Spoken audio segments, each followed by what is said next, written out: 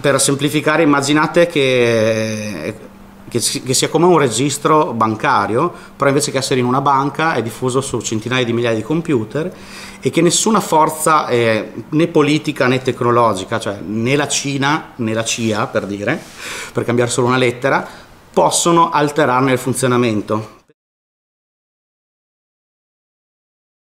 Eh, blockchain senza Bitcoin in realtà non è del tutto una presa in giro, ma quasi in che senso? Eh, per fare un esempio, eh, quando studiavo informatica alle superiori, studiavo i protocolli di internet working, cioè i protocolli per connettere assieme più reti di computer. È una cosa che non ha più senso adesso. Nessuno parla di protocolli di internet working, esiste solo internet ed è folle pensare a un protocollo simile ad internet che fa più o meno la stessa cosa in maniera diversa c'è quello e basta, è lo standard per la comunicazione tra computer. Secondo me accadrà la stessa cosa con Bitcoin, adesso abbiamo il termine criptovalute o anche blockchain, eh, ma eh, l'unica blockchain sicura è quella di Bitcoin, tutte le altre sono nel miglior dei casi dei, diciamo, dei progetti sperimentali, perché Bitcoin non è solo moneta, non è un prodotto, non è come un, diciamo, un eh, MySpace che viene soppiantato da Facebook, è più simile al protocollo internet che non viene soppiantato nemmeno dalla sua stessa evoluzione. È da vent'anni che proviamo a passare da internet versione 4 a internet versione 6 e non ce la stiamo facendo.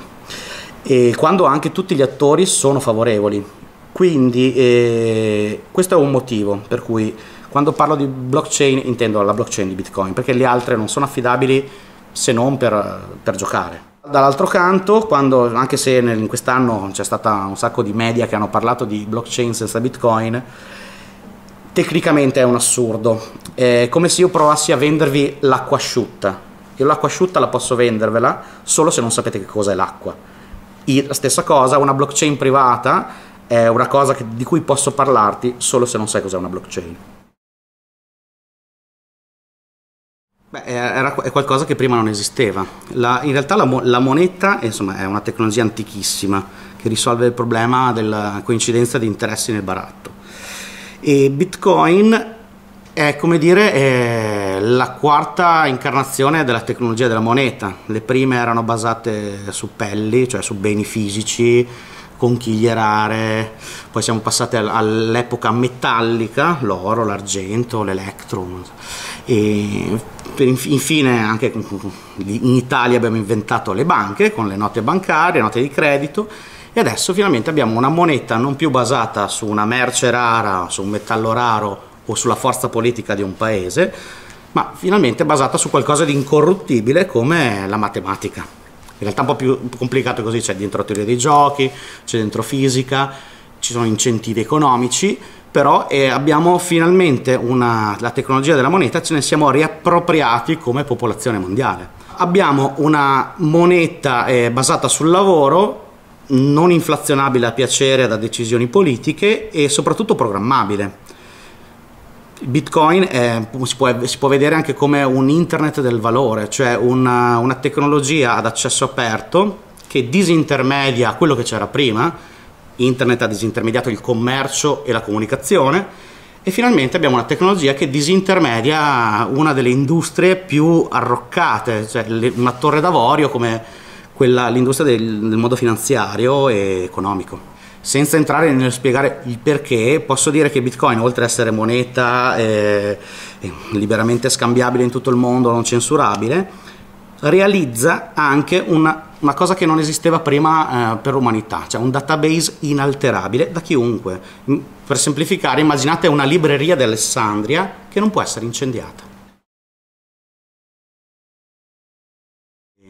Mi sono occupato per la prima volta di Bitcoin e, per un intervento pubblico a Pordenone. Mi avevano invitato a parlare a un TEDx, che è una specie di evento di diciamo, di diffusione di idee nuove e finivo l'intervento parlando di Bitcoin. In quel momento ero ricercatore, mi occupavo di web semantico all'FBK, che è un centro di ricerca diciamo, di quella che veniva chiamata una volta intelligenza artificiale e anche nel centro mi sono occupato di Bitcoin, inizialmente come ricerca. E poi invece è venuta la voglia di occupare, occuparsi al 100% di questa attività e mm, sentivo l'urgenza di semplificare eh, l'accesso ai prodotti tecnologici Bitcoin e blockchain. Per cui ho fatto una startup eh, in Trentino eh, che, si occupa di fare consulenza e di sviluppare servizi e prodotti su Bitcoin e blockchain.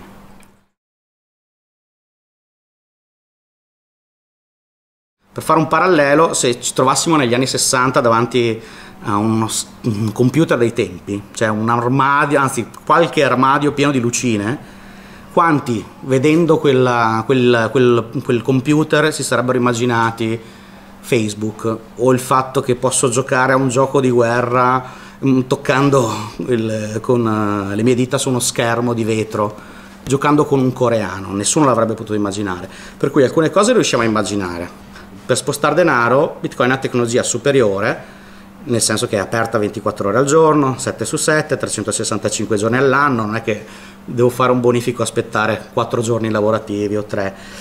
È un'altra tecnologia, per cui eh, tutto quello che si faceva eh, con i sistemi tradizionali si, possa, si, può fare col Bitcoin in maniera più economica, più facile e più versatile. E avrà delle, delle ricadute su diversi settori industriali, dalla supply chain, nel quale può eh, risolvere, al, cioè la supply chain sarebbe la, la filiera diciamo, produttiva industriale, nel quale può risolvere alcuni problemi o costi legati al trasferimento, al mantenimento e, mh, della fiducia che è necessaria per tutte le transazioni economiche. E, e, e, poi le applicazioni anche non monetarie e, di sicurezza del dato, cioè un, un, dato che io scrivo sulla blockchain, che sarebbe il registro di Bitcoin, è inalterabile nel tempo, per cui è una specie di quasi, non so, capsula del tempo, avrà tutte applicazioni dove è importante che un dato non venga alterato. Pensiamo ad esempio al catasto. I catasti adesso sono, eh, da, da, cartacei sono passati ad elettronici, ma se un hacker arriva eh, su un sistema dove c'è un catasto e prende il controllo del sistema, come fai a sapere che non abbia alterato i dati? Non lo puoi sapere perché potrebbe aver alterato anche il backup dei dati. Se invece questi dati o una, la firma digitale di questi dati viene inserita nella blockchain, possiamo dimostrare che i dati non sono alterati. Questo non è un caso irreale, è accaduta una cosa del genere in uno stato del, del, Sud America dove hanno dovuto riacquisire la documentazione cartacea perché avevano il sospetto che dopo un attacco hacker che i dati non erano, non erano più affidabili. Per cui può, può far risparmiare costi elevati. Poi, oltre all'usi del, per il mondo occidentale, cioè il sistema di pagamento dove magari, non so, lo posso utilizzare per comprare su Amazon sca scarpe in maniera scontata tramite Purse, approfondito e interessante. E invece bisogna calcolare che il, più del 50% della popolazione mondiale è senza accesso a strumenti bancari e non li avrà per un sacco di motivi, tra cui il fatto che eh, 2 miliardi di persone non hanno identità statale e senza l'identità la banca diciamo, non, ti, non ti eroga servizi.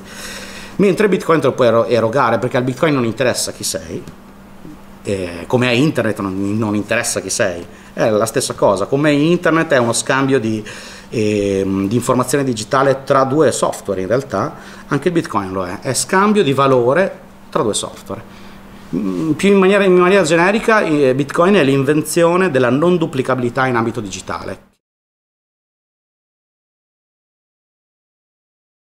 Eh, ci siamo resi conto che, del, immaginandoci questo albero tecnologico di Bitcoin, nel quale ci sono dei frutti maturi e dei frutti sugli alberi più, a, più alti che devono ancora maturare, le tecnologie future, ci siamo resi conto che la maggior parte di chi aveva competenze tecniche che sono pochi ancora, ehm, e, che, e, che, aveva compreso il fenomeno, era interessato, giustamente, li capisco perfettamente, ai rami più alti, cioè ai frutti acerbi, quelli non ancora pronti, quelli che verranno fra qualche anno. E ehm, chi invece sarebbe stato in grado di portare eh, sul mercato eh, le tecnologie Bitcoin non aveva la competenza tecnica, per cui in Bitcoin raduna le due competenze, una, una conoscenza di mercato e la competenza tecnica e la volontà di portare eh, i frutti maturi che sono veramente trascurati dalla comunità tecnica Bitcoin sul mercato. Perché? Perché quei frutti maturi che per eh, diciamo, i bitcoiner più esperti sembrano banali o poco interessanti, per il mercato è, è pura fantascienza, già quelli, quelli, dei rami più bassi. Per cui il nostro scopo è eh, riuscire a, port- a semplificare l'accesso per i non bitcoiner, per cui i nostri prodotti sono per quelli che non sanno cosa, cos'è bitcoin. E stiamo, facciamo dei servizi per i commercianti per accettare bitcoin in maniera semplice, ma anche un, formandoli, insegnandoli come trasformare i loro, i loro clienti in bitcoiner perché ne traggono un vantaggio economico netto. Bitcoin permette, come dicevamo prima, di disintermediare e la disintermediazione porta a riduzioni di costi, chiaramente. Per cui riduzione di costi per i commercianti e per diciamo, le piccole e medie imprese. In realtà potremmo servi fornire servizio anche alle grandi, non è un problema di, eh, di tecnologia, è un problema di gestione per cui per adesso ci interessano solo i, i piccoli e i medi, però in futuro questo cambierà.